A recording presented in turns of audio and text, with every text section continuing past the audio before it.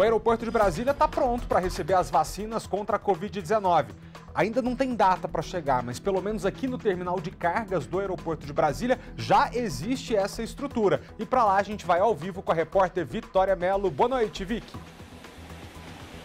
Oi, Felipe. Boa noite a você, boa noite a todos. Pois é, os produtos farmacêuticos já correspondem 80% de toda a movimentação do terminal de cargas aqui do aeroporto de Brasília. E por isso, o local já tem câmaras frias com capacidade de armazenar insumos que precisam de controle de temperatura, né? Que variam de 22 graus negativos a 25 graus. O terminal só não tem câmaras disponíveis para a vacina desenvolvida pela Pfizer BioNTech, que exige um ambiente com temperaturas abaixo de 70 graus negativos. Mas tem espaço, viu, com estrutura e gerador para receber esses equipamentos específicos.